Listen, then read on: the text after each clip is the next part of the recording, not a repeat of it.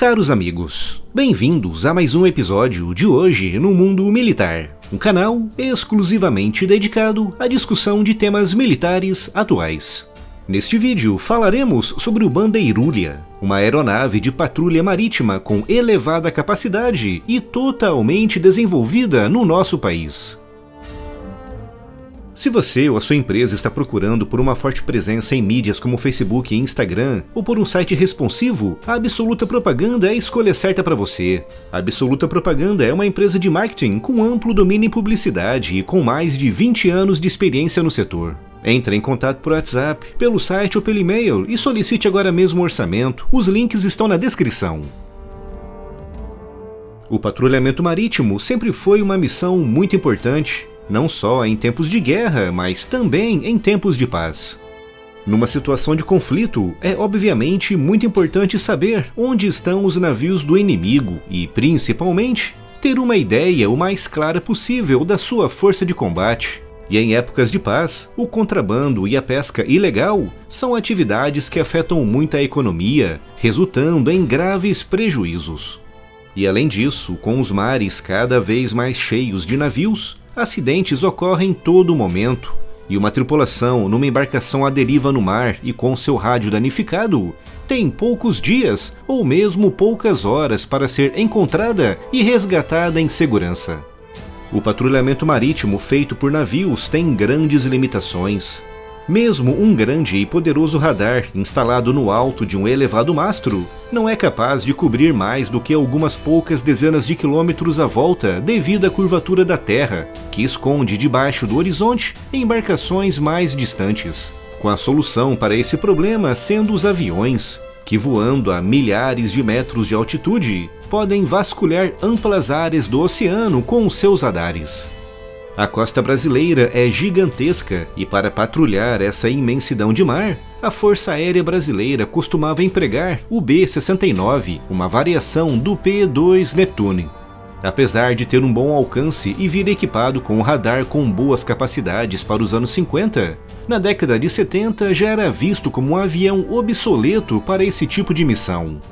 Nessa época, a Embraer tinha acabado de lançar comercialmente o EMB-110 Bandeirante, um bimotor de transporte equipado com motores modernos, uma aviônica avançada para a época, bastante robusto e com um bom alcance com seu peso máximo de decolagem de pouco mais de 5 toneladas e meia.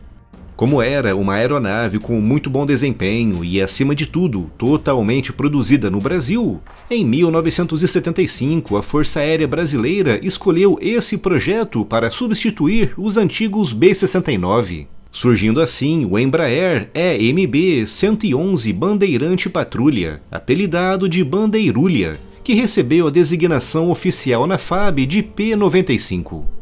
A aeronave em si é muito semelhante ao Bandeirante, o que inclui os seus dois motores Pratt Whitney PT-6A, mas como a missão de patrulha marítima exige longos voos, tem uma capacidade maior de transporte de combustível, o que lhe garante uma autonomia de mais de 7 horas de voo e um alcance que ronda os 2.500 km com seu peso máximo de decolagem de 7 toneladas e meia.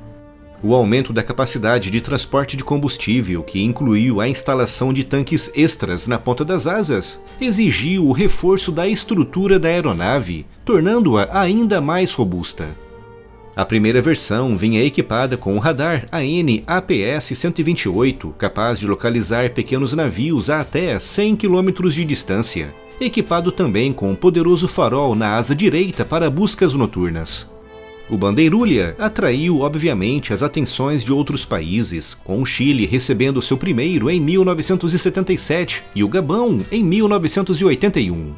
Em 1982, a Argentina, envolvida na Guerra das Malvinas, operava o obsoleto B-69, o que levou a Força Aérea Argentina a alugar do Brasil dois bandeirulhas, acompanhados por 11 chavantes. Esse empréstimo gerou protestos da Inglaterra, que colocou em causa a neutralidade do Brasil na guerra, o que levou o nosso país a oferecer também para a Inglaterra dois bandeirulhas e onze chavantes, uma oferta que foi recusada. Outro ponto de discórdia é que a Inglaterra acusou o Brasil de alugar também pilotos brasileiros para operar os dois bandeirulhas, alegando que seria impossível treinar tripulações argentinas em tão pouco tempo para operar a aeronave. Uma acusação que o governo brasileiro negou na época, afirmando que cedeu pilotos apenas para treinamento intensivo. Essas duas aeronaves receberam as cores do Esquadrão de Vigilância e Patrulhamento Marítimo da Força Aérea Argentina e voaram por cerca de 200 horas em maio de 1982, no auge do conflito, tendo sido devolvidas em 1983. Em 2015, o Bandeirulha foi modernizado, passando a receber a designação P95M, recebendo o novo radar Sea Spray 5000E, semelhante ao que equipa o P3 Orion. Um radar com alcance de até 370 km, capaz de seguir até 200 alvos em simultâneo e de registrar imagens de alta resolução durante a varredura como destacado em 2015 pelo então comandante do Esquadrão Fênix, o tenente-coronel Pierre Gonçalves Bastos. Durante um sobrevoo sobre a ilha de Florianópolis, um P-95M foi capaz de visualizar claramente pelo radar embarcações no porto de Paranaguá, a 210 quilômetros de distância. O P-95M recebeu uma aviônica totalmente modernizada, incluindo um Glass Cockpit de última geração, aumentando consideravelmente a consciência situacional da tripulação.